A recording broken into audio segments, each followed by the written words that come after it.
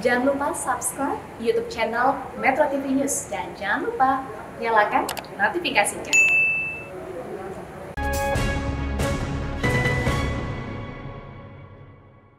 Tun, partai politik sebagai salah satu pilar demokrasi punya peran untuk menjaga dan juga merawat demokrasi. Bagaimana memaksimalkan peran strategis partai politik ini, Tun? Ya, demokrasi bukanlah satu cara pentadbiran yang mudah. Hmm. Dia banyak liku-liku ya. dan bergantung kepada uh, pen, semua penduduk hmm. uh, negara. Hmm. Pendapat uh, penduduk tidak tidak selalunya sama. Hmm. Mereka mempunyai pendapat yang ber, berbeza-beza. Ya. Tugas seorang pemimpin ialah untuk men menyedut uh, pemikiran rakyat hmm. dan berusaha untuk mencapai matlamat hmm. yang diidami oleh pihak rakyat. Hmm. Hmm. Dan itu yang yang sepatutnya berlaku. Ya. Soal lika-liku ini, Salah satu ancaman demokrasi adalah adanya polarisasi di masyarakat yang disebabkan oleh politik identitas. Kalau bahasa Melayunya adalah politik perkauman. Nah, bagaimana cara menghadapi ancaman ini, Tun? Ya, di Malaysia kita ada politik perkauman karena rakyat kita terbahagi kepada tiga kaum dan pendapat mereka ialah mereka perlu mendapat perhatian daripada pemimpin yang terdiri daripada kaumnya. Hmm. Kalau kita letak satu uh, calon uh, kandidat untuk bertanding dalam uh, di, di kawasan kaum yang berlainan, hmm. uh, mereka tidak akan beri sokongan. Hmm. Sebab itu, kalau parti politik ingin mendapat kejayaan, dia mesti ambil kira perasaan, pemikiran, uh, tendensi kaum yang yang berada. Hmm. Jadi kalau kita terdiri daripada orang Melayu, kita kena utamakan um, kehendak orang-orang Melayu, orang Cina kepada orang Cina. Tetapi dalam masa yang sama kita juga perlu utamakan kepentingan nasional. Iya, iya. Soal kepentingan nasional ini, bagaimana menjaga ini, Ton? Ya, ada benda perkara-perkara yang kita lakukan untuk kaum. Tetapi tak semuanya untuk kaum. Kita harus ingat ada kaum lain dan ada negara. Jadi kita perlu memberi pertimbangan kepada semua kaum dan dan juga uh, negara. Hmm. Kalau negara maju, semua kaum akan maju. Tetapi kalau dalam pemilihan, dalam uh, pemilu umpamanya, hmm. uh, kita perlu ambil kira perasaan kaum. Hmm. Kalau mereka tidak tidak uh, peduli tentang kaum, kita juga tidak perlu ambil berat berkenaan dengan kaum. Ya. Tapi sehingga sekarang ini di Malaysia memang masing-masing kaum ingin mendapat sokongan daripada kaumnya diwakili oleh kaumnya. Hmm, hmm. Malaysia pernah menghadapi ancaman polarisasi pada tahun 2018 yang lalu. Belajar dari Malaysia, apa pelajaran yang bisa dipetik akibat polarisasi yang terjadi di masyarakat? Pada 2018. Ya. 2018 keadaan di Malaysia amat teruk sekali kerana kita dapati Perdana Menteri pada ketika itu tidak lurus melakukan Uh, perkara-perkara yang merugikan negara hmm. bahkan terlibat dengan jenayah jadi semua pihak tanpa mengambil kira kaum nak supaya kerajaan ditukar hmm. ataupun sekurang-kurangnya Perdana Menteri ditukar yeah. sebab itu semua kaum berganding bau dan mereka berusaha untuk menjatuhkan kerajaan yang dipimpin oleh orang ini dan uh, kerana uh, penyatuan itu memberi kekuatan kepada parti lawan uh, maka kita dapat berjaya menjatuhkan kerajaan pimpinan hmm. seorang yang tidak bertanggungjawab. Hmm. Lalu bagaimana seharusnya peran partai politik untuk menghentikan polarisasi yang terjadi di masyarakat atau politik perkauman tadi? Ya, masa akan datang bila kita tidak lagi perlu uh, tumpu kepada kaum.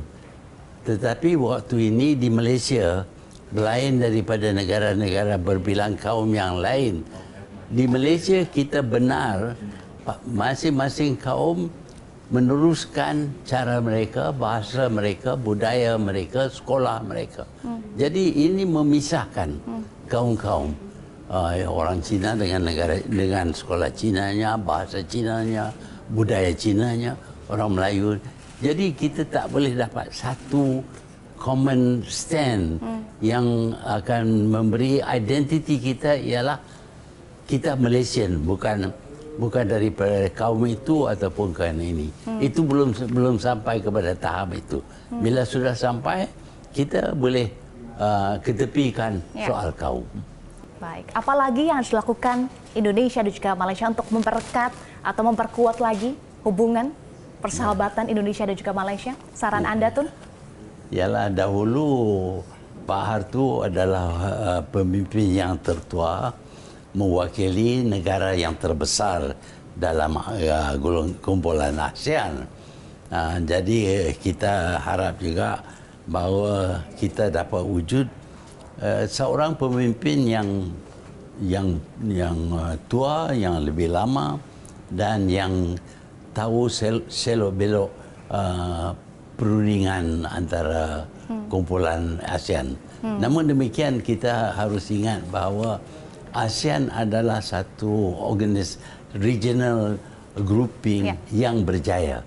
Sudah ramai regional grouping yang uh, melibatkan South Asia, Caribbean, semuanya sudah sudah hilang. Hmm. Tetapi ASEAN masih uh, masih uh, bergerak, hmm. masih aktif. Hmm. Baik.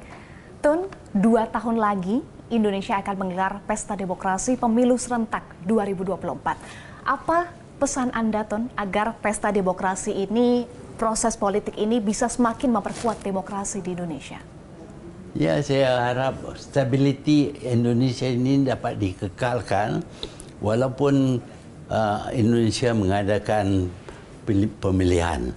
Uh, kerap kali apabila kita lihat negara-negara yang ingin laksanakan uh, demokrasi.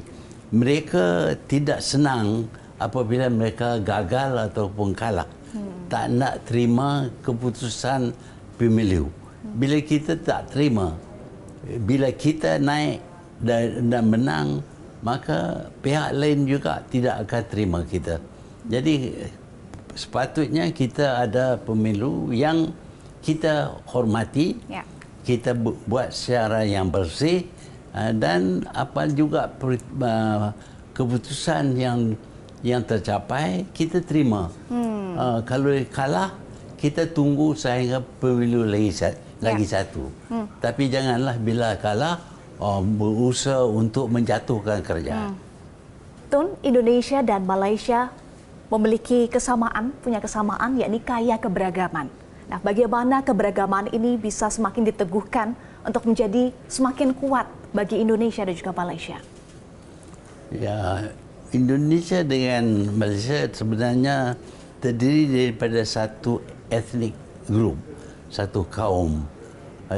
Tetapi kita dijajah oleh pihak yang lain. Indonesia dijajah oleh Belanda, Malaysia dijajah oleh British. Jadi cara-cara kita memikir cara-cara kita menggunakan organisasi berlainan antara kita. Maka dipersetujui bahawa yang dijajah oleh Belanda akan jadi Indonesia. Yang dijajah oleh British akan jadi Malaysia. Kalau tidak disebabkan penjajahan yang berlainan, Indonesia dan Malaysia adalah satu bangsa. Hmm, hmm, hmm. Baik.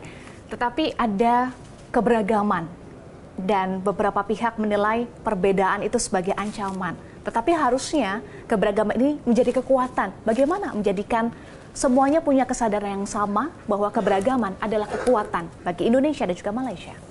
Ya, berkenaan dengan agama, kebanyakan daripada penduduk eh, Indonesia dan Malaysia terdiri daripada orang yang beragama Islam agama Islam telah menentukan melalui dalam Quran bahawa Tuhan menjadikan kita berbagai kaum ya. supaya kita berkenal-kenalan, hmm. bukan bermusuh-musuhan. Hmm. Dan kita dilarang bermusuh kerana semua orang Islam sepatutnya menjadi uh, uh, brothers, brethren. Uh, dan kita dilarang uh, mengganas dan membunuh. Itu dilarang oleh agama Islam. Hmm. Kalau kita ikut ajaran Islam, tak ada masalah antara kita. Hmm. Kalau ada konflik antara Malaysia dan Indonesia, kita duduk di sekeliling meja dan ya. kita kita settlekan, kita uh, putuskan hmm. uh, yang terbaik. Hmm. Kalau kita berperang, berperang kalau kita menang pun rosak, ya. kalau kita kalah pun rosak. Hmm. Hmm. Tapi uh, kita tak tentu boleh menang. Ya. Sama juga dengan rundingan. Hmm. Rundingan pun tak, semik, tak semestinya keputusan itu memihak kepada kita. Hmm, hmm, baik. Tun, terakhir apa pesan Tun kepada generasi penerus? Seperti yang Tun sempat sampaikan juga di buku yang Tun tulis, The hmm. Malay Dilemma. Ya. Eh, ya, golongan muda yang akan mewarisi negara ke negara ini perlu tahu sejarahnya. Ya. Bagaimana mencapai kemerdekaan, korban yang dilakukan oleh pengasas-pengasas dan juga satu daripada uh, pilihan kita ialah kita pilih cara demokrasi. Cara demokrasi bermakna kita perlu lurus dan tidak terlibat dengan rasuah dan kita adakan pemilu dengan baik dan kita terima uh, keputusan yang dibuat oleh pemilu. Yang diutamakan ialah stability, keadaan tenang, tak ada rusuhan, tak ada peperangan. Dengan adanya stability, maka negara-negara dapat dibangunkan dengan lebih pesat dan menguntungkan rakyat. Baik, terima kasih mantan Perdana Menteri Malaysia Mahathir Mohamad Tun M sudah bergabung bersama kami. Terima kasih untuk waktunya di wawancara hari ini. Sama-sama. Sehat selalu, Tun M. Assalamualaikum warahmatullahi wabarakatuh. Waalaikumsalam.